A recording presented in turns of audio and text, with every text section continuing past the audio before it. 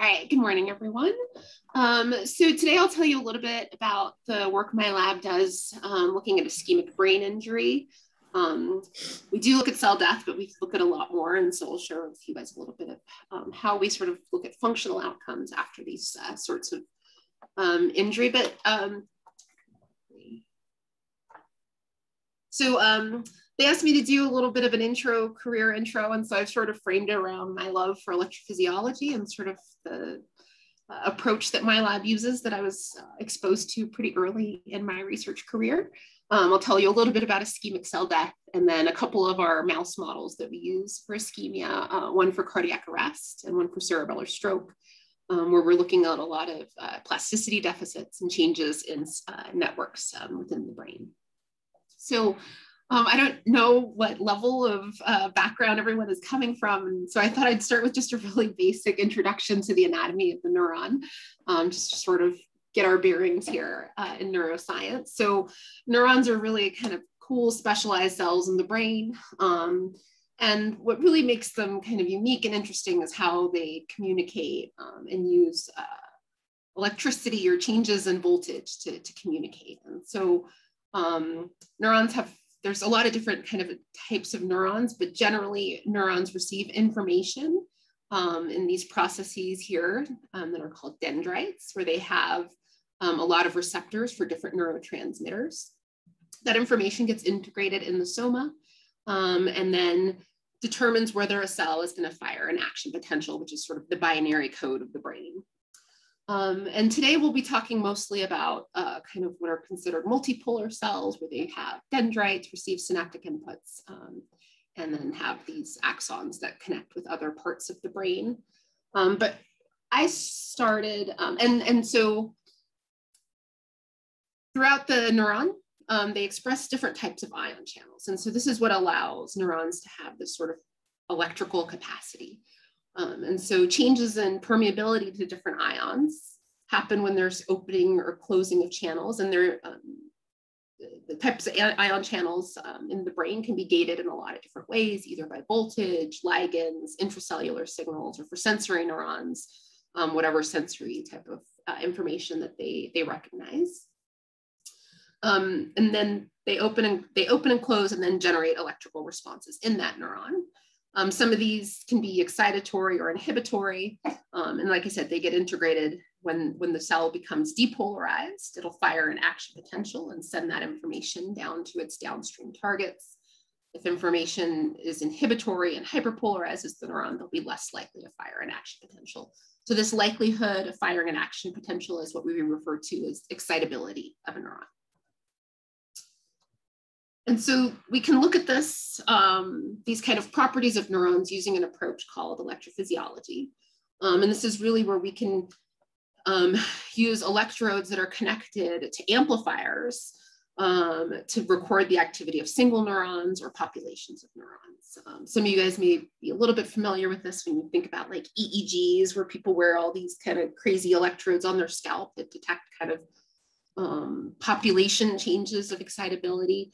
Um, but all of my um, research and training has really been in this sort of single cell electrophysiology. So recording the activity of an individual um, uh, neuron. And this is just sort of what that setup looks like in reality in the lab, where we have a microscope with our preparation, um, some micro manipulators to be able to kind of really finely approach these cells um, and make contact with them to start to record and then there's always lots of wires um, coming in and out of the uh, out of our out of our setups. So I um, started my uh, research career as an undergrad, um, and I would say fairly late as an undergrad. I'm a first generation uh, college student in my family, and I would say had no clue about research uh, until I was fairly late into my um, undergraduate. Um, and I met uh, this professor, Marie Burns, um, through a friend that actually worked in her lab, um, suggested I, I, check out research. Um, and I was at UC Davis, and she was uh, faculty, a brand new faculty at the Center for Neuroscience. So when I joined her for an internship, she was building her lab, um, which was a really great experience for me to see what that was like. And uh, pretty quickly, she gave me what I've, in hindsight, was a challenging and quite independent project for a, a research assistant in the lab.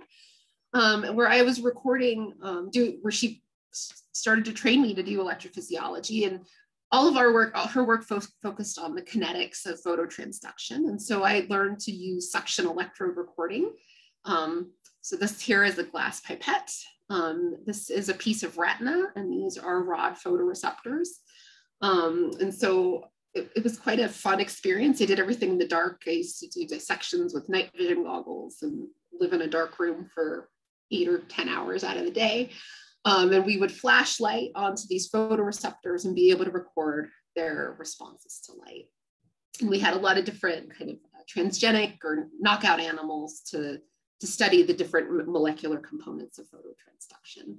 Um, and this really um, kind of ignited my passion for electrophysiology. I got exposure to other techniques, but this one was really the one that um, made me want to continue doing research. Um, both because it, it's just it's such a fun way to study a neuron, um, but also it, I found the kind of instant gratification that comes with it. You know, you shine a flashlight and you see the response right then and there, as opposed to some of the other techniques where it took a few days to get data. So um, this was really uh, something that just resonated really well with me. And one of the other kind of really remarkable things about um, Marie was she was a young faculty, I'd say at this time, electrophysiology was a fairly male dominated uh, uh, area, um, just not as many women. Um, and she was a trailblazer, both in terms of her science, but also was a great mentor for me. Um, during while I was in her lab, I met and married my husband. And um, when she really encouraged me to go to grad school, and when I did, she, the, the best advice she ever gave me is you know, have a family when you're ready for a family and don't let your career dictate when you do that. And um, that, that for me was um, something that was really valuable, especially because after I left her lab, I had all male mentors. Um, so I went and did my PhD at Oregon Health Science University in Portland. Um, and my advisor was Dr. John Williams, um, I continued to study sort of G protein receptor regulation as a grad student, um, but more in the context of opioid receptors. And so rather than recording from photoreceptors, I was recording from neurons in the brain and doing pharmacological studies to look at how these receptors responded to high, high concentrations of agonists, which caused desensitization and then that recovery from sensitization uh, desensitization and then um, sort of was able to use two photon microscopy to look at the trafficking of those receptors to relate the activity with where they were localized. Um, it was a great place to do a PhD. Um, for those of you that have never been to Portland, the university kind of lives up on a hill um, in this kind of forested area, which was a, quite a cool environment to do my training in. Um, I was in a really great and supportive lab. Um, and John was a great advisor. His his office was kind of in the lab, and he had a rig in his lab and did experiments almost as much as the the students and postdocs, which again I don't think I fully appreciated until I left the lab how kind of rare that is. Um, and towards the end of my PhD, um, I had my son Andrew, which I have to say was quite a challenge as a grad student, and it was John's first time ever having a woman in the lab that had had a kid. Um, so there were some challenges in terms of how the I think he thought I was maybe going to fall off the planet in research um, after I had my kid, but I was able to prove him wrong that having a kid is not a career killer. um, and then I started uh, while I was a postdoc, I met, or while I was a pre-doc, I met my future postdoc advisor, Paco Herson, um, who was also at OHSU at the time. But during my first year of, his post, of my postdoc, got recruited here to the University of Colorado. So I did most of my fellowship um, here in the Department of Anesthesiology under the mentorship of uh, Dr. Herson and Dr. Traystman, who was the former vice chancellor for research here. Uh, one of my first years here, we had quite crazy weather. So this was a tornado that came right over the research building. So um, I don't know, I always like to show that picture because it kind of freaked me out when we moved here. Um, but I've continued to do electrophysiology, and I would say I've learned quite a few different approaches to do this. Um, as my in my uh, pre-doc or during uh, my graduate years, I was doing one type of electrophysiology called intracellular. Um, when I started working with Paco, I moved to what's called patch clamp recording. Um, and I really focused on two areas of the brain that I'll talk about today. One is the hippocampus, which is a structure that's really important for learning and memory, um, and particularly uh, kind of plasticity in this area, which I'll kind of introduce a little later, uh, what that means. Um, and so really learning how to study these, these cells in, in the hippocampus. I also uh, have focused a lot of my research in the cerebellum, which is an area that's really important for motor uh, learning, motor coordination, but also a lot of cognitive uh, functions. Um, and as a postdoc, I had my, my second kid, Natalie. So that's sort of my career trajectory, I would say, um, in terms of how I've gotten to where I am. It's really, I've been very fortunate to have really supportive mentors, both in terms of my research, but in, also in terms of um, my family and, and, being supportive of, of, of, the balance that it takes to, to, um, to try to balance these, these two big parts of my life. Um, but also I have a great partner that, that is um, also very supportive. So I'll stop there in terms of my kind of history and start getting into what my lab studies. So um, we use uh, two uh, models, or we have several models of brain injury in my lab, but they're really focused around ischemia, which is this idea that when you have a reduction or a loss of blood flow to the brain, um, you lose both oxygen and glucose, which are really um, important for maintaining metabolic function. And the brain is quite unique that there's not any energy reserve. So even brief periods of ischemia can be quite detrimental in the brain. Um, it's detrimental to all organs, but shorter periods, uh, the, the, brain is, is very sensitive to even brief periods of ischemia. And we, we really study this in two kind of contexts. One is what we call a global ischemia, so cardiac arrest, so where there's a loss of perfusion to the entire brain and body. So, and you know, with cardiac arrest, while the brain is um, extremely sensitive, other organs can be damaged and well uh, as well. And there's actually quite a bit of um, kind of organ crosstalk uh, in terms of signaling that happens. But even though the whole brain becomes ischemic, there's really certain populations of the brain that appear to be particularly vulnerable. Um, and then non-neuronal cells are relatively spared. And people that survive cardiac arrest, you know, certainly there's a huge amount of research in resuscitation science just to, you know, be able to bring these people back. But then for those that are resuscitated, they often exhibit deficits in executive, motor, and cognitive function. Um, the other kind of major cause of ischemia that we study is stroke. So this is a more focal loss of blood flow, often due to an arterial occlusion um, of one of the, the, the, arteries within the brain. This produces injury. Um, usually with stroke, the duration of ischemia can be quite a bit longer. Um, and because it's quite a bit longer, this produces injury to neurons, glial cells, and the vasculature, result, resulting in a, a, true infarct, so a, like a, total loss of brain tissue. And I'll, you'll see some examples of that um, once we get into some data here. Um, but people with stroke also deficit, uh, exhibit um, similar deficits to what we see in cardiac arrest, although um, it may be a little bit more dependent on where uh, where the stroke is. So you, people may have motor deficits without cognitive deficits or vice versa, um, really depending on where the occlusion happened. And so when there is ischemia, um, what ends up happening is there is a, a failure of um, a lot of the ion transporters that live on the neuron that keep maintain these ionic balances that are really critical for how a neuron functions. Um, and what ends up happening is there is an excess of the excitatory neurotransmitter glutamate um, that causes activation of a lot of different um, receptors and voltage gated channels and causes a pathophysiological increase in calcium. Um, and this can cause uh, my, uh, organelle dysfunction, activation of cell death pathways, um, oxidative stress that all can ultimately lead to neuronal cell death. And so today we'll talk a little bit about the neuronal cell death piece, um, just to kind of give you an idea of what that looks like in our injury models. But really, we're quite interested in what happens to the cells that don't die. And is there a way to improve their function, um, to increase, uh, to improve neurological deficits after cardiac arrest or stroke? Um, and so I'm part of a, a, group called the Neuronal Injury Program, um, which is sort of a way to describe a collaboration of a lot of faculty across multiple departments, and we're all quite interested in, in ischemic brain injury in various contexts. Um, so we're certainly interested in sort of the mechanisms of, of how cell death happens and whether we can intervene and actually reduce cell death, but also we're very interested in the role of sex hormones and the impact of, of biological sex on uh, outcomes.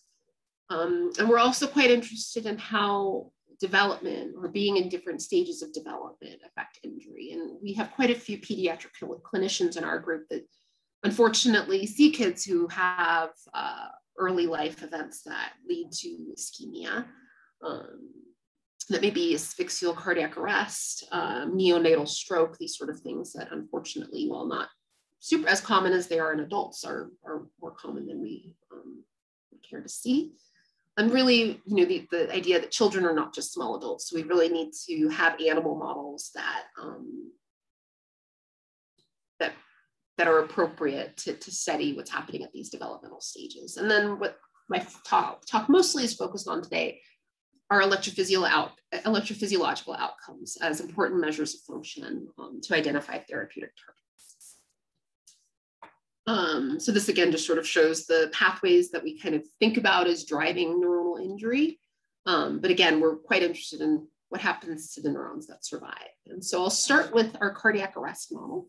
Um, so we perform cardiac arrest in mice um, and have some quite talented uh, research assistants that do these kind of uh, in vivo surgical procedures to be able to uh, do instrumentation of mice, um, to be able to intubate them, get access to a jugular uh, IV line. Um, we do very rigorous temperature management um, because we know that temperature can impact injury outcomes. Um, and we have the mice uh, connected to an EKG so we can um, see both when we've um, induced asystole, but also once we've successfully resuscitated. Um, and we're able to do this in quite small animals, as little as nine or 10 grams, to be able to kind of model uh, what we term juvenile cardiac arrest. So we stop the heart with a IV injection of potassium chloride.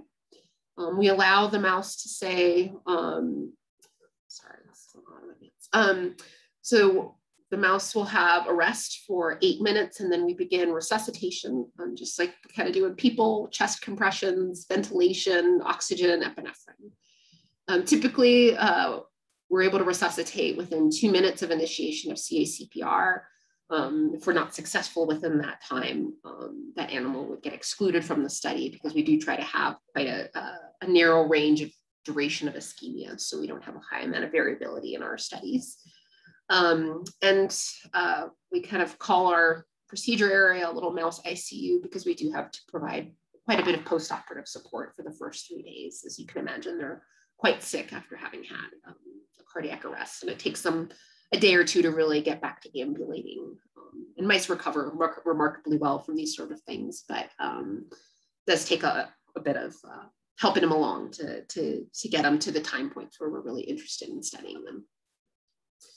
And two of the areas that we've really focused on in this animal model are, again, the hippocampus and the cerebellum. And that's primarily because we've seen from um, human autopsies that these seem to be the areas that have the most amount of cell death. And That includes the CA1 pyramidal layer of the hippocampus, a particular cell within the cerebellum called Purkinje cells. Um, there's also quite a significant amount to uh, brain cells within the striatum, but we study that a, a little bit less in our lab. Um, and even within these sensitive areas, not all the neurons die. And so these are some um, kind of histological readouts of injury. So on the left here is the hippocampus. And these sort of lighter colored cells uh, that have really nice, where you can see the plasma membrane or, live healthy neurons. And then these really dark guys that we call kind of pycnotic um, are the cells that have died. And um, for the duration of cardiac arrest that we induce, we see about 50 or 60% loss of CA1 neurons in the hippocampus, um, but still a good number that survive. Um, and we can record from these cells. So they are um, healthy neurons for the most part. We will talk about how they differ from sort of a, an animal that has not had any sort of injury. Uh, and then the other area, this shows cerebellum. So um, this one is a stain for these Purkinje cells. And normally when we look at this, we see these big kind of round red balls will have a very nice um, uninterrupted layer within the cerebellum. And after cardiac arrest, we see these big gaps in the cerebellar Purkinje cells, um, indicating that they've, they've died and been removed from the, from the or cleared away from the, from the cortex. Um, and we have, we've published lots of papers on mechanisms of cell death and neuroprotection. Um, but what we really started to want to know is can these neurons that survive function similar or, or make up for the cells that have, that have lost? And so one of the ways that we look at this in the hippocampus is to study synaptic plasticity, which is really a, a cellular mechanism that underlies learning and memory. Um, and we particularly focus on long-term potentiation, which is the idea that you get a persistent increase in the efficacy of a synapse or um, and we use we induce LTP with high frequency stimulation, but um, we're walking around. This is really driven by firing um, of neurons that are providing sensory information into the, the hippocampus. And so essentially we have um, dendrites that express postsynaptic receptors for the neurotransmitter glutamate, which is an excitatory neurotransmitter in the brain.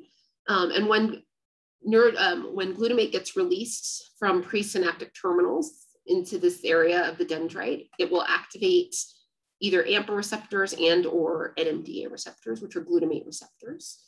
When both of these get activated concurrently, which requires kind of a high degree or a high, high level of stimulation, um, we get calcium increases that drive phosphorylation of the AMPA receptors and insertion and stabilization so that we get a stronger response to future uh, glutamate signals. And the way that we record this is to make uh, brain slice preparations um, where we can extract the brain, um, keep it alive with an artificial cerebral spinal fluid, um, and slice it um, in the proper orientation to be able to record these uh, the synaptic circuit. And so the, the part of the hippocampus that we focus on is the CA1.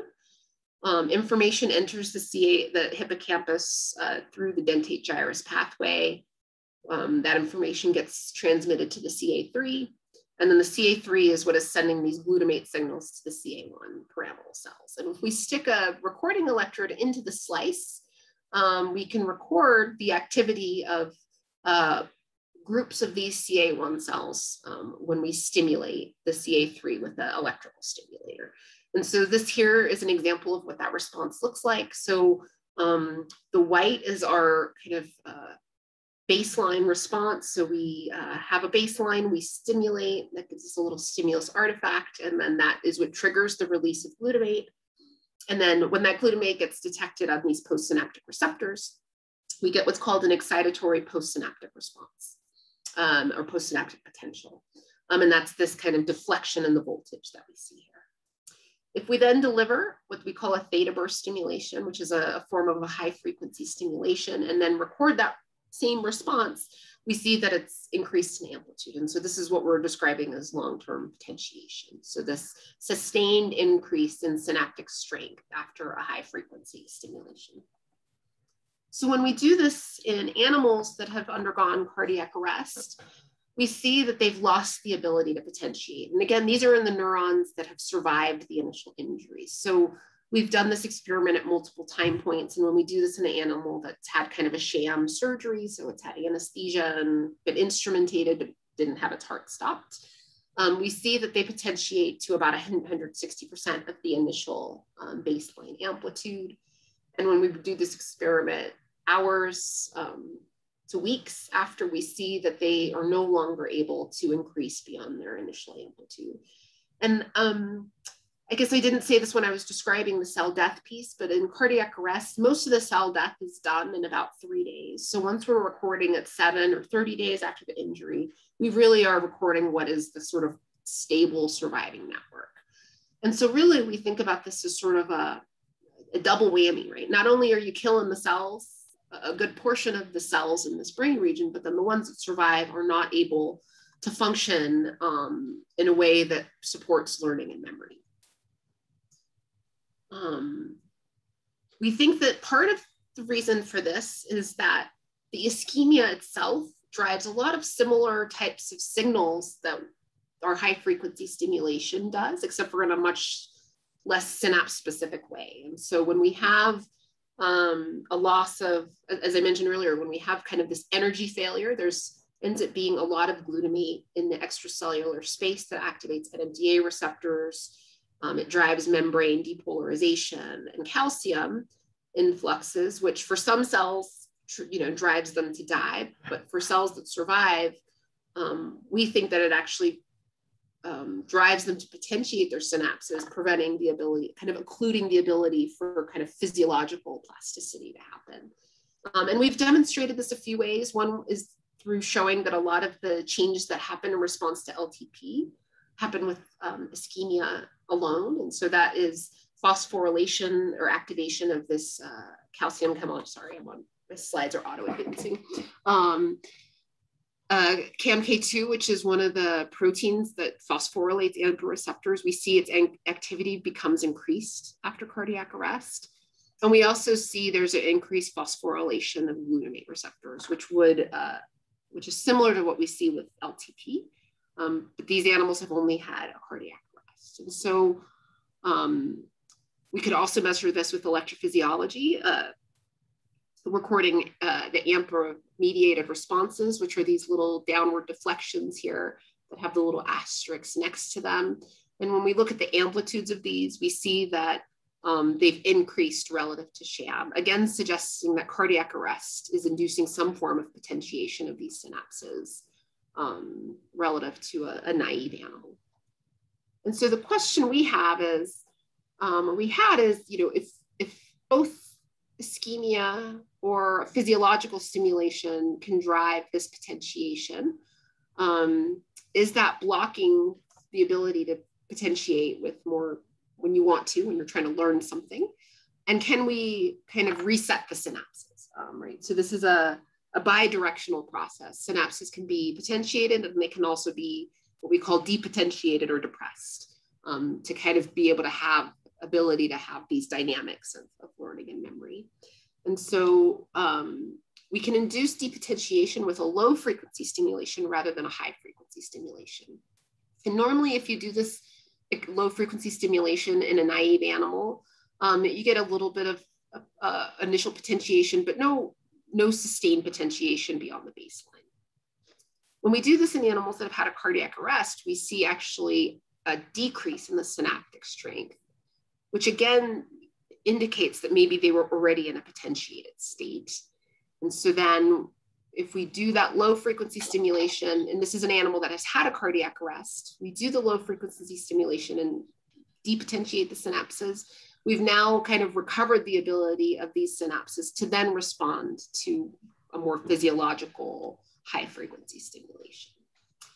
Um, and we've not done this in vivo to see how this affects learning and memory, um, but um, we at least think that ex vivo, this indicates that we may have some uh, changes in uh, synaptic strength that are potentially reversible and targetable.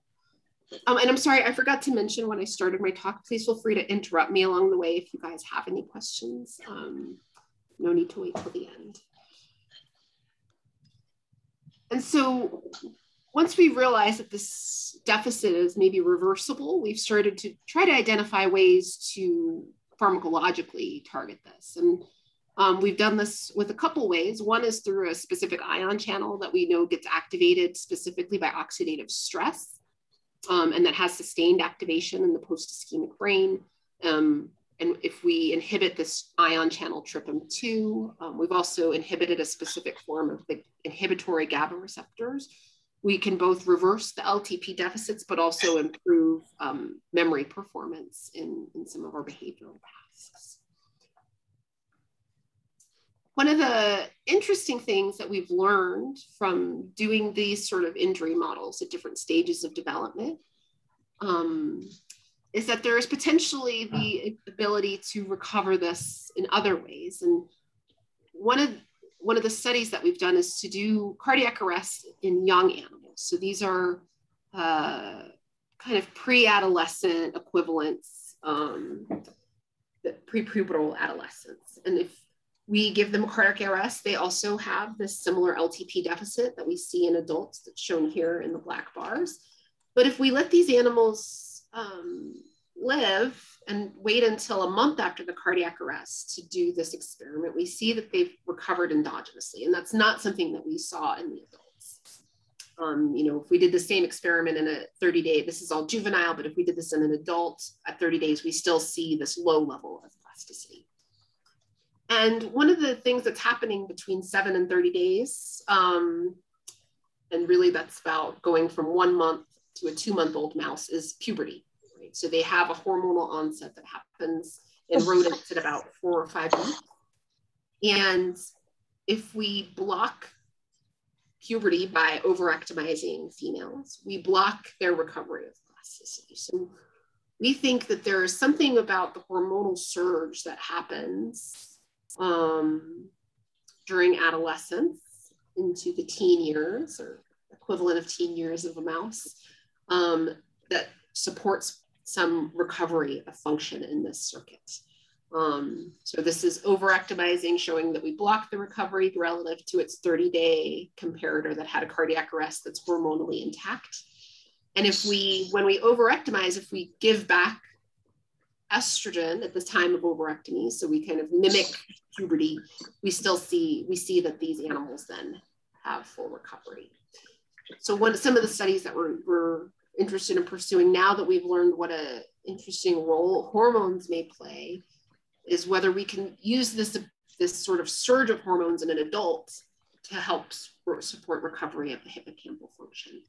And so those are some of the studies that we have sort of future and ongoing in our lab is um, give a bolus of estrogen in the post-ischemic period to see if we get some recovery of synaptic function. And we think that this is likely, um, estrogen is known to drive uh, ex, uh, transcription of some plasticity related genes, such as uh, brain derived neurotrophic factor, which we know is um, reduced after brain injury. Um, so we think it's kind of changing overall gene expression to help kind of recover some of the synaptic function that is lost after cardiac arrest. We've also studied plasticity in this other part of the brain, the cerebellum. Um, and this is the, the more prominent form of plasticity in this is depression as opposed to potentiation. So rather than getting an increase in synaptic strength, we get a decrease in synaptic strength when there's a certain type of uh, sensory and error signal that comes into this part of the brain. It's a calcium dependent process like what we see in the hippocampus. It's just sort of the opposite direction. Um, and this, this plasticity is really thought to ask, uh, underlie a lot of aspects of cerebellar dependent. And similar to what we saw in the hippocampus, um, we saw here, again, we're going from a, a large response prior to this uh, high frequency or uh, concurrent stimulation to a smaller reduction. Um, so controls animals have a depression when we stimulate two of their inputs, the parallel fiber and the climbing fiber together. Um, but when we do this in animals that have had a cardiac arrest, we see that they've lost their ability to potentiate um, relative to their control shams. And in this brain region, the, the mechanism for the loss is slightly different than what we saw in the hippocampus. We actually saw that is uh, cardiac arrest actually reduced the expression of one of the receptors that drives uh, calcium influx that's required for, for, for LTD. Um, and that, that is down at all the, it's, it's, it's a function is reduced at all of the times where we're seeing um, impaired uh, plasticity. Um, and so again, we, we think we have a, maybe a novel pharmacological ta target of trying to increase their activity um, at delayed time points to restore some of the cerebellar function. Um, so we have a, quite a few projects in our lab looking at, at, cardiac arrest and the role of sex hormones in LTP. Um, so we do a lot of gonadectomy, gonadectomy and hormone replacement um, in males and females to try to get at which maybe specific receptors um, dri are driving this recovery of function in, in, in juveniles that are allowed to mature to adulthood. Um, and we do a lot of kind of pharmacology and conditional um, receptor knockouts to get at some of these mechanisms. We've also started to look at another part of the brain that doesn't have direct cell death, but we think is likely affected by cardiac arrest, which is the amygdala. Um, it plays a really important role in fear and anxiety. And we know that people that uh, patients that survive cardiac arrest have increased anxiety. Um, and one of the graduate students in our lab is really starting to develop models to look at amygdala uh, function and plasticity um, as part of his developing thesis project. Um, so I'm going to shift gears before I switch to stroke. Um, does anyone have any questions related to the cardiac arrest portion of the talk? I can save them for the end, but I thought I'd take a little pause here. Nothing in the chat. I will keep going. Um, so as I mentioned, um, cardiac arrest is one form, one cause of, of ischemia in the brain. Um, and probably one of the more common um, forms of ischemia is actually a stroke, right? And so this is the idea that there's a focal occlusion of, of an artery in the brain. And the majority of these tend to happen actually in the forebrain. Um, so parts of the brain like the motor cortex or striatum. Um, but a lot of my research in cardiac arrest started to look at the cerebellum. And as I was reading the literature, I realized that there, um, while there was very little uh, studies to look at it, that strokes can happen in the cerebellum as, as well. And so the cerebellum lives in the hindbrain. Um, it's supplied by different um, arteries than the forebrain. Um, these uh, cerebellar arteries that arise from the vertebral artery. And while it's a relatively small percentage of all strokes, there's a lot of strokes every year in the US, about 800,000 um, new or recurring strokes. Um, so about 20 to 25,000 of those uh, occur within the cerebellum. And what's been really interested me in the clinical literature is um, while they do have symptoms like that you would predict for an, a motor area, like ataxia, um, patients sometimes display vertigo, um, impaired motor learning. There's also been a really interesting um, emergence of literature showing that the cerebellum also can play an important role in more cognitive functions. And when they've done lesion, lesion symptom mapping studies, they show a correlation of motor symptoms with um, more anterior portions of the cerebellum, um, while areas with the posterior areas, so anterior being this more towards the front of the head brain, um, with posterior causing more cognitive and emotional dysfunction. But it's really unclear why um, or how injury in the cerebellum can cause some of these cognitive impairments.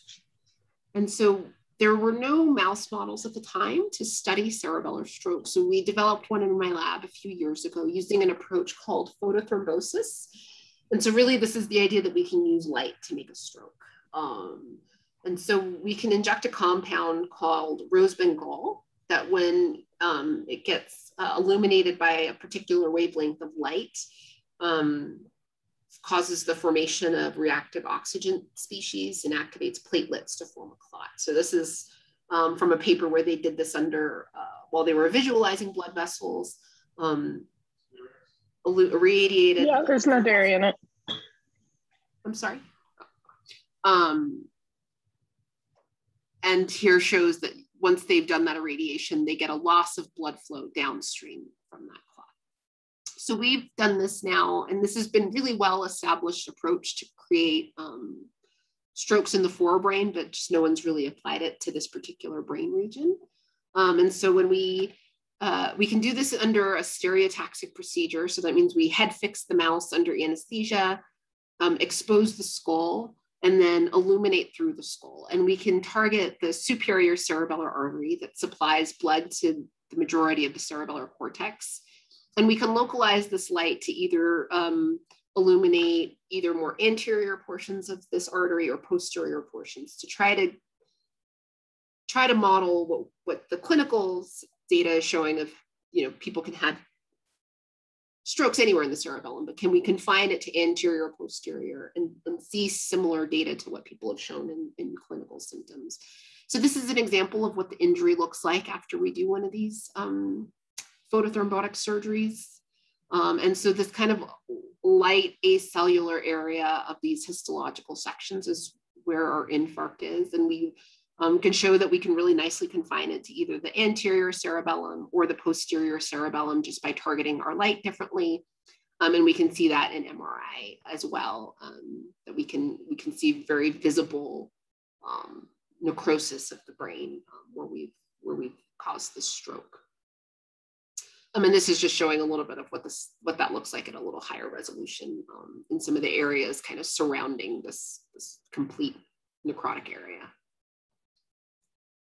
So we've done neurobehavioral testing in animals that had either this anterior localized infarct or posterior localized and are able to see um, to dissociate motor and cognitive deficits. So um, we have a couple ways of, of looking at, at motor function and, and cognitive function. Um, and the two that I'm showing here are balance beam and what's known as contextual fear conditioning. So the balance beam is basically what it sounds like. We put the mice on a, a narrow tapered balance beam and let them cross into a darkened goal box. Um, and then we can videotape them from below and just count how many times they miss, right? So are they kind of fumbling their way across this uh, balance beam? And, um, you know, healthy mice make a mistake or two here and there. Animals that had injury in this more anterior parts of the cerebellum showed a higher number of missteps, indicating that they have a little bit of motor coordination deficits.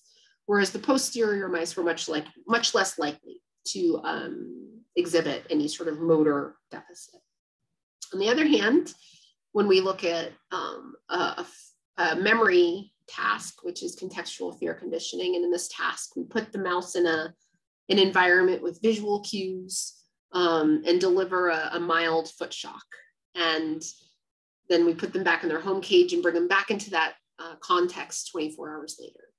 Um, if they remember this context as having been aversive, um, they'll freeze. And that's what we see in our sham animals. Once they get into this, they really kind of don't move around a lot because they don't know what's coming and, and, they have a little bit of fear about, about that context. Um, reduced freezing in this task suggests reduced memory of that context.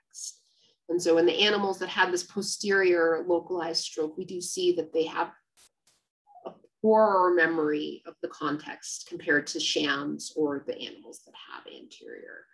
And so this really gives us a tool now to try to get at how how one you know we can study motor deficits but we're really quite interested in how how do cognitive deficits happen after an injury in the cerebellum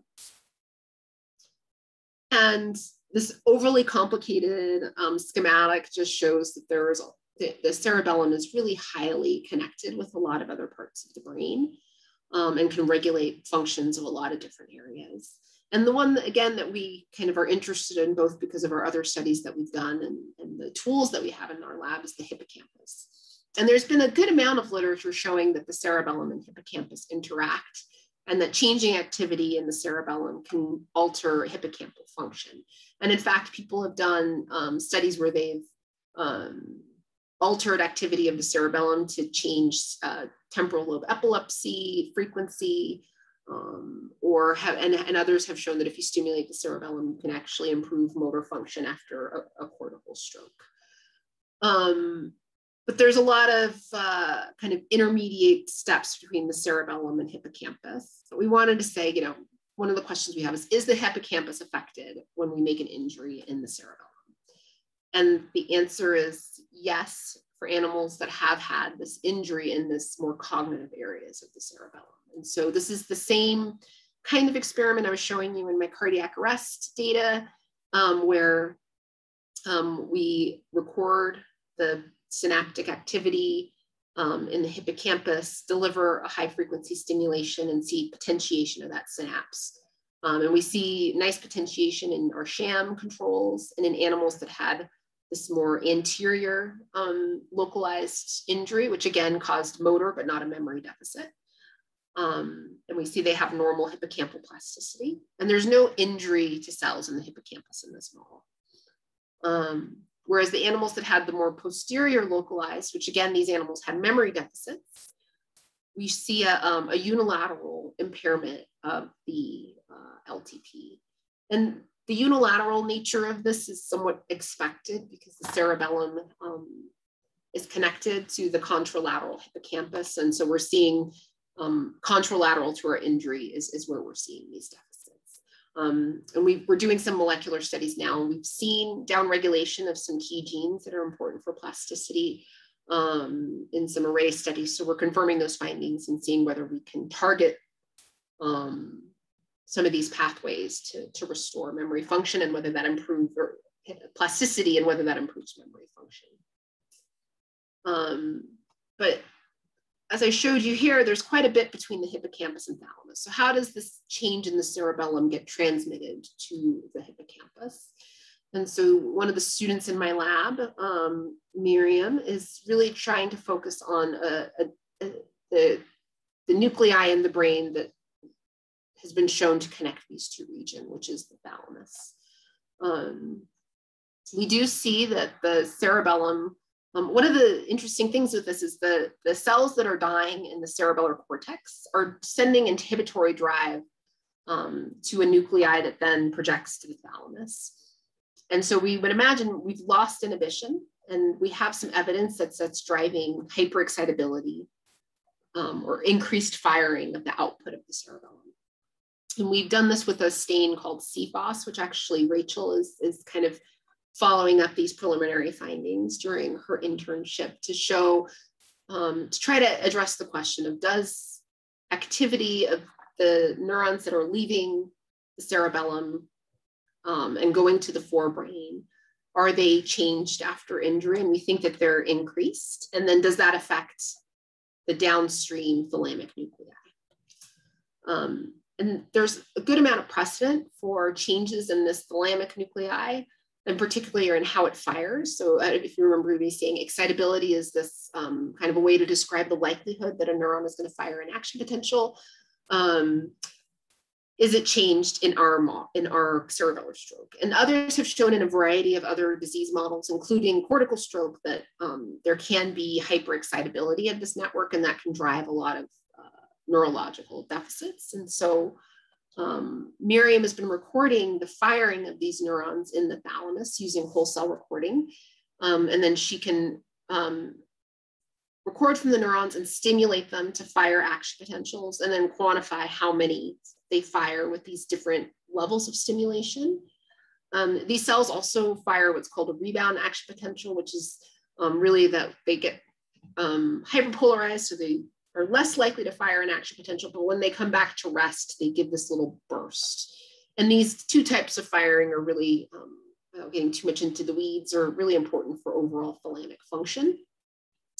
Um, and when we look at their firing after our cerebellar stroke, we see that there is a, a increased excitability um, in the hemisphere that, that receives input from the cerebellum that's injured relative to the non-injured cerebellum suggesting that there is, again, increased output of the cerebellum and maybe changes in the thalamic excitability of downstream neurons.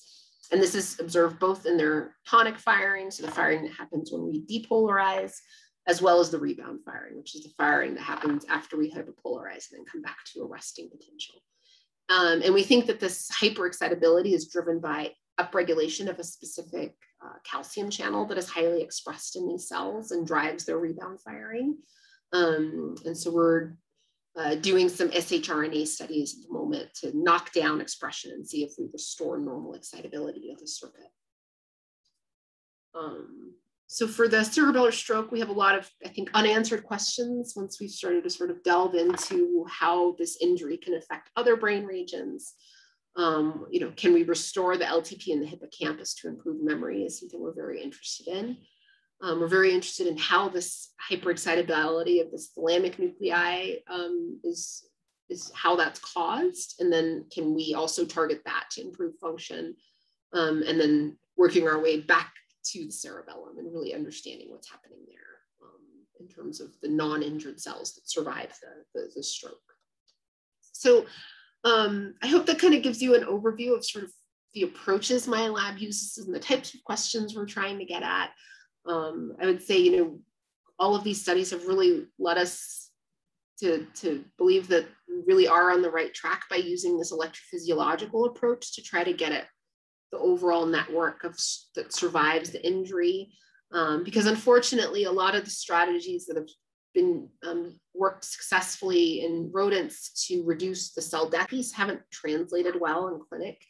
Um, and there's also very narrow windows for intervention, particularly with stroke. So if we can find ways to improve function at more um, delayed time points after the injury, we think we can have a larger impact on functional outcomes. Um, so I have a great group of people that I work with.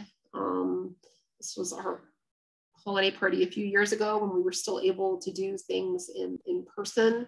Um, I'll highlight a couple people. Um, Nick Chalmers and Erica Tiemeyer have been our really talented cardiac arrest surgeons. Um, Crystal Minjarez, um, and I don't see where she is in here. My student Miriam Moreno have really driven the cerebellar stroke project, um, and we're excited that Rachel's been a part of that this summer. Um, and of course, we thank the people that help fund the science that we do. Um, thank you guys for your attention, and I'd be happy to take any questions the last uh, eight to 10 minutes that we have here.